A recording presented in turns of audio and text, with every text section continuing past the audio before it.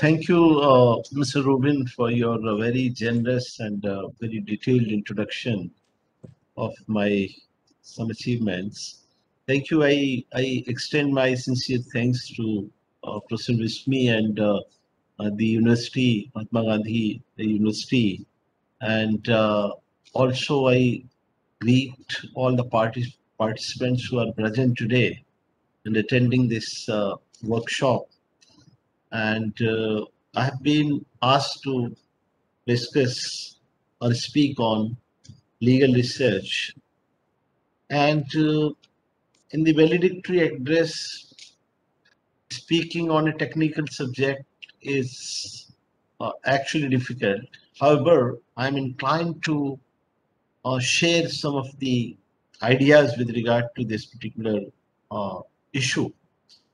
So to begin with, I have to say that the status of Indian uh, legal research, especially the empirical legal research in India, uh, has not really taken off.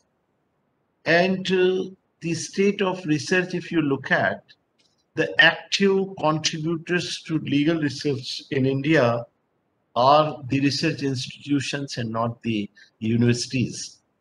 That is something very important and interesting. And why we have a sort of a low profile status to the value of uh, legal research in our country. I think this is the moot question before we can take up other question. So first of all, if we see in the overall structure of legal education, the emphasis on the subject of legal research itself is very limited. If you see the five-year or three-year, you know, curriculum of undergraduate law, BLLB or LLB, you will not find much in terms of uh, providing systematic introduction to the different techniques of legal research to the students. And also at even LLM level, though we have introduced a paper on, core paper on uh, legal research methods, in most cases, as my experience goes, this paper is also not a great priority. And when I probe little deeper into this state of affairs, the first and foremost thing that occurred to me or that I have noticed is the fact that you do not have trained teachers to teach uh, legal research in most uh, state universities especially. And since the teachers are lacking uh, a systematic orientation into the nitty-gritty of uh, methods of legal research, they are unable to actually deploy the required degree of training and orientation to the students in general. Therefore, we are into a very vicious circle and the capacities are not being built up as far as legal research is concerned. And lately, however, I noted with some satisfaction that because of the initiatives of a couple of institutions here and there, we could at least see empirical legal research coming up and some reports are being published, which are now being utilized uh, by the law teachers and law students extensively. Now, point number two is very interesting. When I when I look at the growth or origin of uh, legal research in our country, I find that we can be placed at three levels as far as our understanding or uses of legal research is concerned. The first level is essentially the level of learners. So we can be the learners of uh, legal research. And uh, second level is we are the doers of legal research. So we are doing research because we have to do research. This is uh, the requirement for at least uh, LLM dissertation or PhD in law. So they are essentially the doers. And third level is very rare, but it is important. They are the critics. Critics are those who are capable of deploying critical insights into the understanding of legal research by way of evaluating the works done by others. And that actually gives a lot of you know, promotional value to the whole idea of legal research. Now, I notice another thing which is very important, and that is there are certain trends which are now emerging, as I said, because we are in 20, 21st century where the techniques of law teaching have really changed. And there is a lot of scope and deployment of digital tools, quantitative methods, software applications. And because of all these technologies, young scholars are at least encouraged to utilize certain techniques and methods in evaluating their contents, the legal law subject contents. And that has actually given rise to the, you know, uh, legal research. Now, essentially the growth of legal research is linked with the fact that with the manner, in the manner how we teach uh, in our law schools. I noticed that we are actually teaching a very normative black letter kind of law in our classes. And therefore, why of the law is something which not many times we see being discussed in the classroom.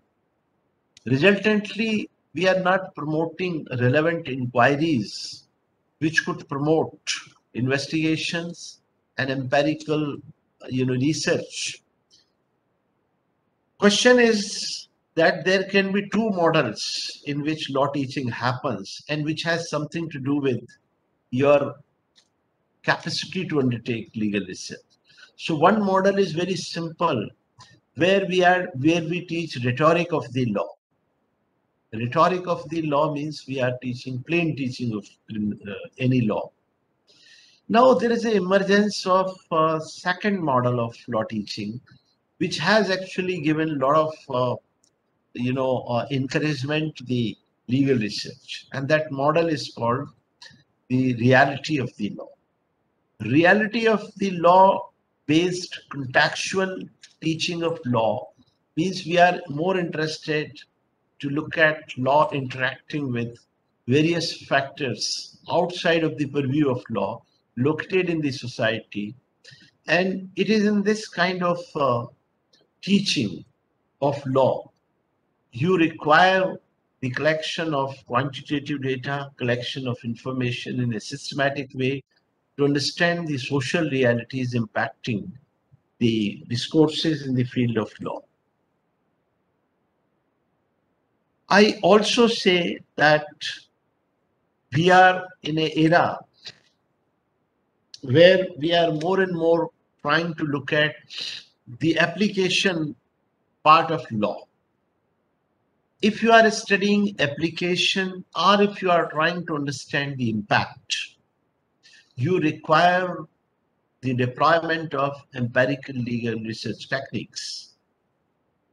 I wish to draw your attention to the fact that, for instance, you want to know at a particular point of time as to how effectively a legal provision is actually functioning or what has been the impact of a Supreme Court decisions on the intended stakeholders. You know, these kinds of inquiries are essentially to be followed with the help of empirical methods. You cannot really assess the impact of a law theoretically, you need to actually design an impact research model to collect empirical data from different stakeholders. Now, many a times, many law teachers, or for that matter, students, do ask this question that how come empirical research is possible in traditional subjects like criminal law, constitutional law, or environmental law, I try to actually answer this question in inviting their attention as to what are the institutions of law, who are the stakeholders of law.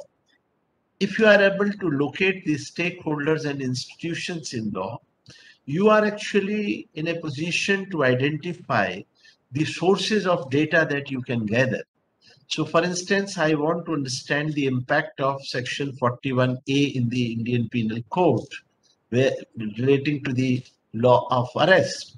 I mean, how effectively or how often a police station in charge uses this particular provision in effect. Now, this inquiry will take me to those police stations where police officers are registering the cases and try to invoke section 41A. Now I can collect a variety of data of this process to be able to actually state or convey the manner in, this, in which this particular law is being implemented are the required critical areas which are noticed in the implementation of this law. So this one example can be utilized in, in so many ways to understand as to how the impact of law or the operation of law happens. I wish to draw your attention. If I say you need to understand the operation of a particular law, you have to essentially undertake an empirical model based research study in which you would draw certain hypotheses or you would collect uh, some uh, you know, quantitative data from the stakeholders of law, and then you can deploy some advanced statistical and quantitative technique in analyzing that data with reference to the objective of your research. All this process would provide you some insights in terms of knowing the you know underlying facts which are not otherwise discoverable so most of the time, empirical legal research is all about quantification or operationalization. Quantification and operationalization means in the field of law, you have a variety of subjects and those variety of subjects are taught at different levels. Now, we do not draw any meaning in terms of measurability because research is all about measurement. I raise this question to all the participants. How often can you see the different concepts in law being measurable? So like for instance, justice, rule of law, all these things we use so often, fairness. But if I ask you how to measure fairness or how to measure rule of law, many of us would find it difficult. So, in other words, we have not taken up this concept to the level of operationalization, which is called measurement. And some of such developments are actually happening now. If you are aware of, I can give you two examples. One example is World Justice Project is now producing a host of data with regard to the measurement of rule of law index as well as justice index. So they have been able to measure justice as well as rule of law with the help of nine indicators. Now these nine indicators take you to certain measurable outcomes in which you can measure. Now this is happening. However, uh, this process requires a basic capacity to do so. Now, another example you must be recently seeing, happiness has been measured. So we have now World Justice Report on happiness. Happiness has been quantified. I am trying to convey a large number of concepts which are socio-legal in nature in the field of law have been, you know, put to test or put to measurement. And that process is actually not happening. That process is not happening anywhere in the law school. So if you read so many concepts in jurisprudence, if you ask what is the operational understanding of those concepts in terms of their measurability, all these queries will take you to the actual application of empirical legal research. And I also say the extent to which you are interested in the whole idea of objectivity. then legal research becomes important. Generally, the trend in legal research in this country has been, in most cases, we we try to make use of our own impressions, conjectures, ideas, opinions.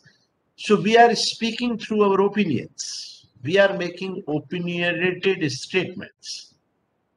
And we fail to distinguish between a opinion statement and a fact statement. So I think you can look back how many times you have spoken to seminar or you have spoken to classes, how many times you have fact statements with regard to a particular issue. I can say with a lot of uh, conviction that most of the times we are making opinion statements. They may be right, but here we are talking about legal research, which require you to use more and more fact statements. Fact statements are based on facts, information, data. Now, we do not have enough data in the legal regime to be able to actually come out with a lot of things we generally speak about. And therefore, there are lots of issues. I also say the objectivity in legal research is a crisis. And when I speak that uh, that we are not generating enough data, what are the sources of data in the field of law? Who are generating? Are we generating any data, primary data in the field of law? We have thousands of colleges and uh, lakhs of teachers, hundred thousands of teachers. We are not generating primary data through our research on different kinds of subjects. We are repeating again and again the things which are said by one scholar, those things are again reproduced by a third scholar, fourth scholar, and that chain continues without actually having to contribute anything new. I'm asking why are not we able to capture the data? First of all, we do not have a training to acknowledge or appreciate the sources of data or to understand where to get the data for our uh, research. I'm also saying that it is the problem of our temperament in the sense that we are scholars, teachers, or students who are more and more focused on content, content of books, content of writing, content of case laws. So we have a content based consciousness. We do not have enough method consciousness. I can very easily provide you an example. Every time you need to look at the content of a particular writing, probably you are unable to identify the presence of a methodology in a paper. So how many times do you read the method in a particular writing? You ask this question and you will get the answer that I'm trying to actually speak upon.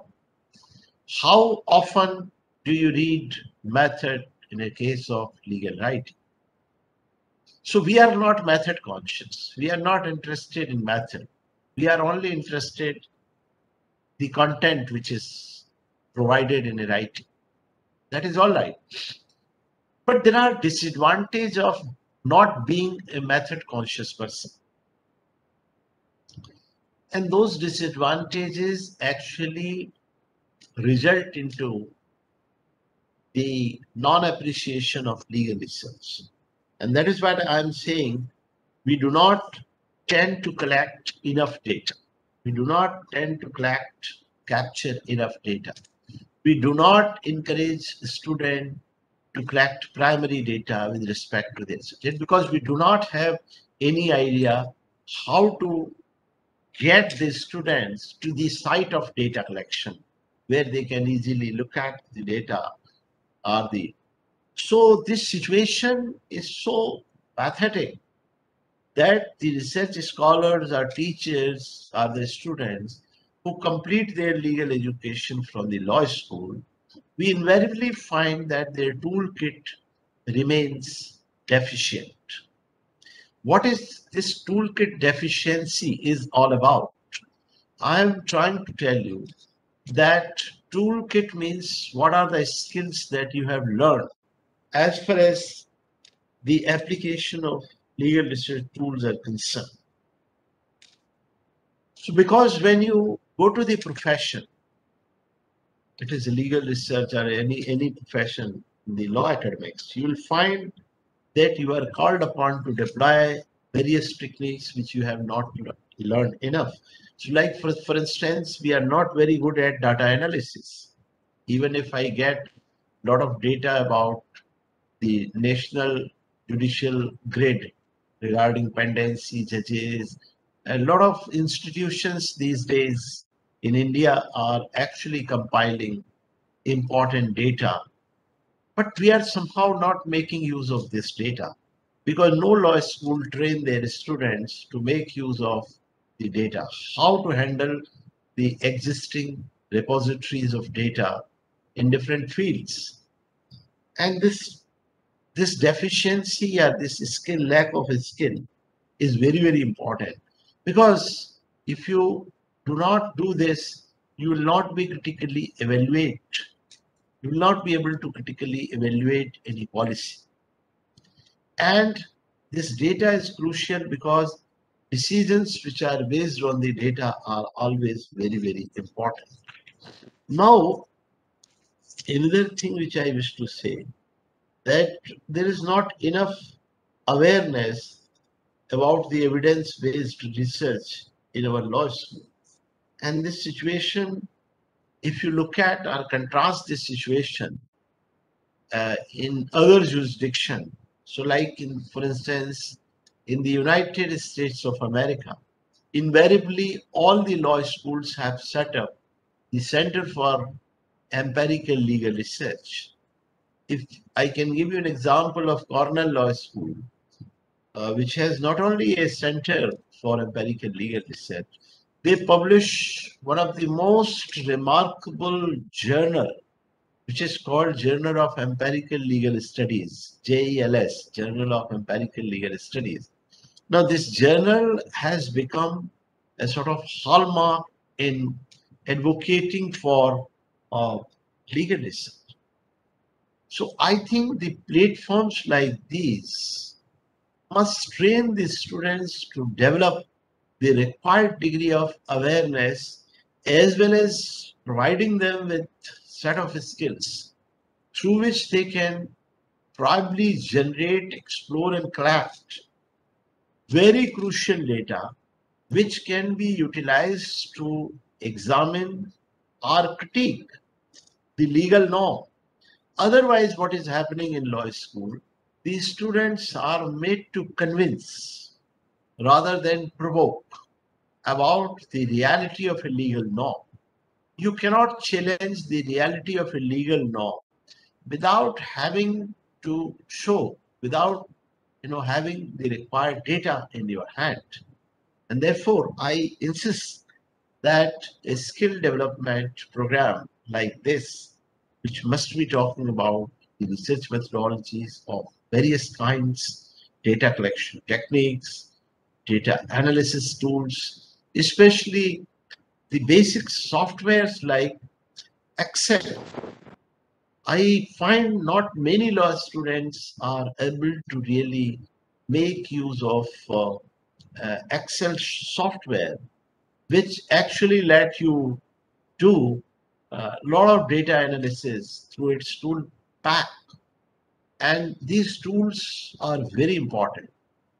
So I think as a part of legal research method paper in undergraduate and postgraduate, students are required to be necessarily asked to deal with the questions of data analysis, the questions of data collection, the questions of writing empirical reports.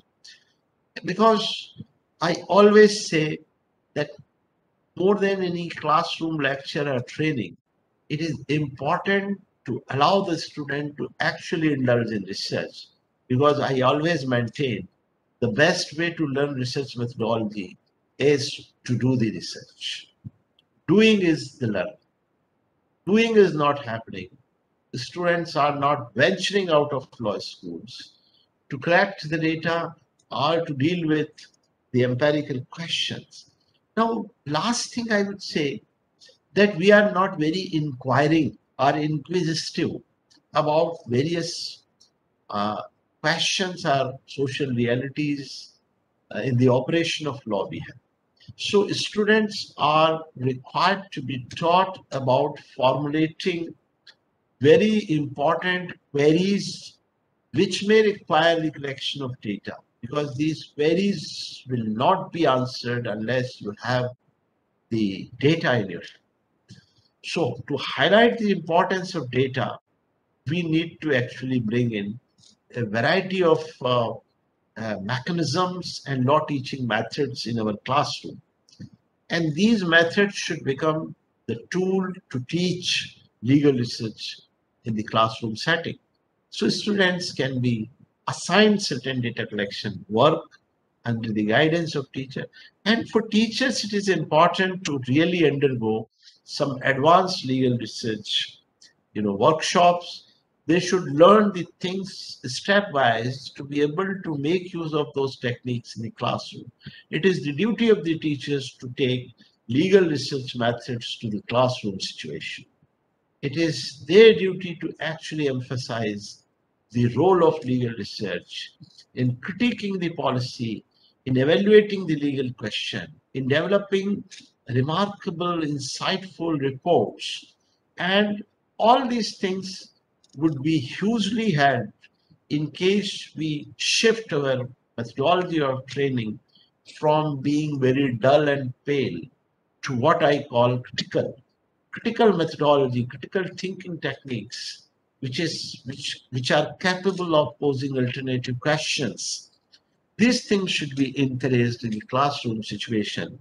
And doing that, I'm sure a lot of learning will take place the good part and positive thing these days is that we have a good number of uh, uh, material resources, foreign and Indian books. Like in law, we always read Oxford Handbook. There is a Oxford Handbook on, on empirical legal research. There are some very, very insightful books which we have, uh, which which have been published in the field of legal research. But I'm seeing somehow these resources are not put to enough use. That is the need, and these workshops should become a very important point or important starter to encourage the traditions of legal research, empiricism, objectivity. So these are some of my ideas and some of my thoughts. I'm sure these uh, I've been able to pinpoint certain things which might be useful to you. And I once again thank you and a lot for providing me this opportunity to speak before uh, this August audience. And I'm looking forward to be associated more and more in this kind of gatherings. Thank you one and all.